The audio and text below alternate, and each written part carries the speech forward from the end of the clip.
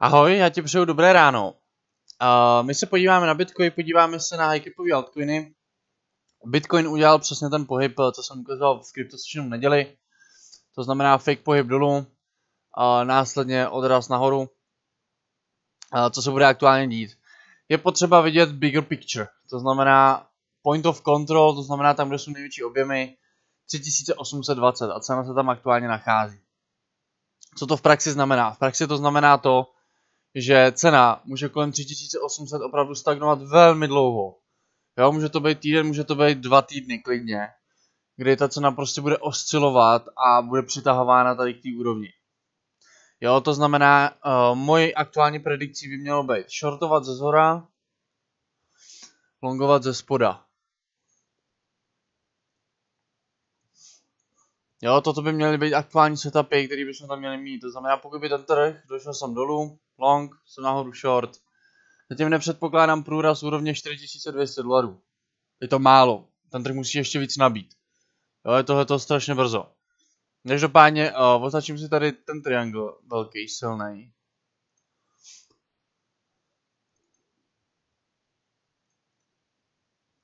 Tak.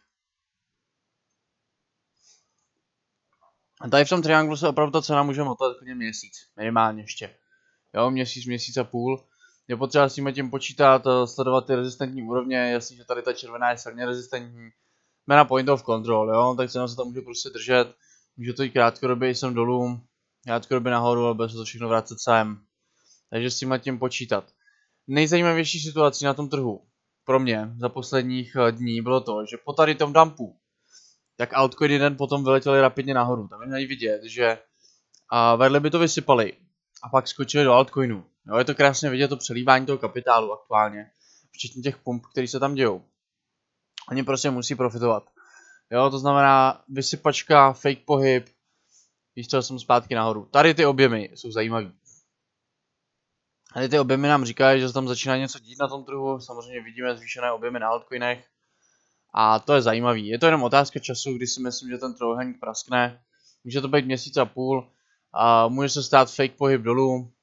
Může se stát i to, že se podíváme rovnou na nějakou hranici 5000 dolarů. Nebych se tomu nedivil. Jo, tady je krásně vidět, že vlastně ten graf se začíná krystalizovat. A je tady úplně jasný z toho grafu, že do konce roku se určitě nedočkáme nějakého závratného pohybu nad 6000 dolarů. Já jsem si s tím téměř jistý. Proč? Protože když nastane takováhle konsolidace, tohle bych řekl jako aféra, že je medvědí vlajka, která samozřejmě může vygenerovat nějakou uh, bíčí pas, takže i kdyby ten trh potom tady odsaď vystřelil nahoru, tak si stejně myslím, že tam bude chybět dojezd. Já zase opačně, pokud by ten trh vystřelil dolů, tak bude rychlá vracečka na point of control. To jsou to jsou superový scénáře, jakmile vidíte obrácený P profil, nebo prostě medvědí vlajku, dokážeme úplně jako jednoduše predikovat. Jo, dokud se takováhle systematika stane, to znamená aktuálně rezistence, support, odrazík, point of control, jo, to je prostě tady ta červená, která tady je. Tady ty červený.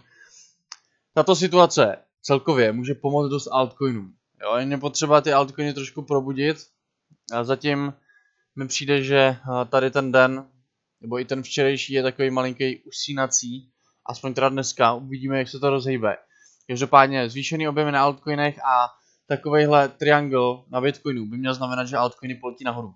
A to je ten důvod, proč jsem já říkal, že eh, si myslím, že březen duben nás čeká pozitivní období na altcoinech. Jo, to je prostě moje predikce a ta predikce je na základě toho, že se nám tady tvoří prostě triangle. A kdy altcoiny a letí nahoru při stabilizaci Bitcoinu. Jo, no to dává všechno hlavu a patu, to znamená, že ty pohyby, které tady potom nastávají, jsou scénáře, které vycházejí z toho obráceného P profilu nebo z medvědí vlajky. Jo, není to nic, co bych jakoby aktuálně chtěl predikovat, jakože si věřím, co bude na Bitcoinu za půl roku.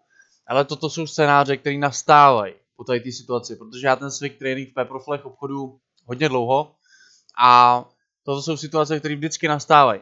Jo, buď tam přijde rychlej střel dolů, fejkovej návrat zpátky, nebo přijde výstřel nahoru, což je medvědí past, eh, což je bíčí past, a přijde si kera zpátky. Jo, jsou to prostě pravidla obchodování toho P profilu. Takže aktuální situace je jasná. V této situaci očekávám stagnaci. Ta stagnace tady opravdu může být dlouhá, ten trh může ustřelit nahoru, může se vrátit zpátky, ale jsou to takový prostě inside hry, který nás nemusí až tolik zajímat. Spíš pojďme se podívat, co to znamená pro ty altcoiny. A za předpokladu této teze toho trianglu očekávám bullish období na altcoinech. Nebude nějaký extrémní, vidíme, že altcoiny se snaží nahoru, tlačí se nahoru. Cardano aktuálně na supportu. Očekávám, že tady zase bude prostě vlajka. Tady krásný P profil, takže ta cena by se měla prostě posouvat zpátky sem nahoru od toho supportu. Dokud Bitcoin bude držet svůj price a bude stabilizovaný, tak uh, si myslím, že altcoiny budou růst. Dneska to spíš altcoiny trošku rozdechávají, ten pohyb nahoru, ale myslím si, že bychom měli jít s altcoiny aktuálně nahoru. XRP je strašně těžký na analýzu, protože je tam těžká akumulace z dlouhou dobu. Ty výstřelky nahoru se tam nedějí jen tak, někdo to tam prostě pálí. XRP jeho čas prostě nastane. Jo, zase, já bych teďka aktuálně čekal na tenhle ten support. Ten bude určitě reakční. Bitcoin Cash. Aktuálně pro mě hodně nezajímavá struktura, je to takový nemastný, neslaný, vyhnul bych se. Litecoin už téměř splnil ten profit, který jsem tady měl určený. Každopádně to, co je velmi zajímavý. Ta cena se tady poměrně jako stabilizovává, jo. Já bych se soustředil třeba tady na ten support. Ale ten support by znamenal, že by se vrátila celá ta cena uh, pod tady ten 1, 2, 3 gap. Zatím vidíme, že ta stabilizace té ceny je prostě hustá. Já bych se opravdu nedivil, kdyby ta cena ještě vystřelila nahoru. Ethereum BTC. Stejný konsolidace všech těch úrovních. Budeme se posouvat nahoru prostě na těch altcoinech. Já věřím taky, co jsem říkal předtím. Já se budeme posouvat na Ethereum zase nahoru. On to může být krátkodobý situace, jo, že bude nějaký pozitivní cyklus na těch altcoinech, třeba měsíc, měsíc a půl. Tron, aktuálně pěkný výběh nahoru, je jasný, že se budeme vracet na point of control, tady nemá smysl, smysl co řešit. Jo, tady je POC, ta cena se stále tlačí nahoru, takže dojdeme tam. EOS, Zase, máme tady stagnaci v rámci té konsolidace. Vypadá to pro mě jako Bitcoin, má tady před sebou fakt silnou rezistenci. Takže s EOSem už bych se na to asi vykašlal, ta rezistence je fakt silná. Tak a ještě jsem si tady vybral BNBčko. Já jsem o BNBčku mluvil v Crypto Session, očekával jsem korekci, říkal jsem, dejte si pozor na to, že ta korekce nemusí přijít. Je tam rovnou, může přijít push nahoru. Chtěl jsem kupovat Binance Coin tady, ale, nebo takhle skupovat, přikupovat, protože my už držíme Binance Coin, ale říkal jsem, dejte si pozor, že ta korekce vůbec nemusí nastat, Binance je aktuálně neskutečně na koni. A čím více bude růst ta cena, tak podle mě tím více bude zajímavá pro lidi, bude zajímavá pro referály. Uh, uvidíme, jakým způsobem decentralizovaná burza na Binance bude uh, spojená s Binance Coinem. Ale Binance je pro mě raketa. Jo, tam prostě si myslím, že se oplatí hodlovat. My se podíváme na MPX, který aktuálně jediný držíme. Za mě prostě stále je toto luxusní P profil a měli bychom se stále posouvat nahoru. Mám tam prostě stejný setup, furt ten se nemění. Jo, to znamená, setup je stejný. Zatím nevěřím tomu, že bychom tady z toho setupu měli někam spadnout dolů, jako samozřejmě stát se to může. E, nějaký lokální, nějaká lokální silná úroveň je pak tady, ale myslím si, že to cena to zvládne a budeme se posouvat nahoru. Pokud Bitcoin zvládne stabilizaci dnešního dne, tak já očekávám zítra velmi zelený altcoiny. Jo, to znamená v praxi to, že já v tuto chvíli počítám, že dneska pošlu minimálně dva signály. Aby jsme z těch pěti signálů Jo, protože na jeden signál riskujeme 20%, měli otevřený aspoň 3.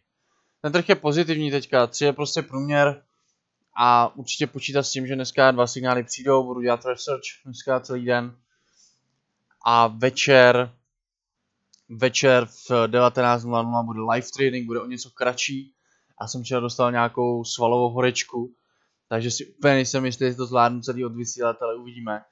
Zaměříme se dneska na orderbook, zaměříme se na altcoiny na BitMEXu.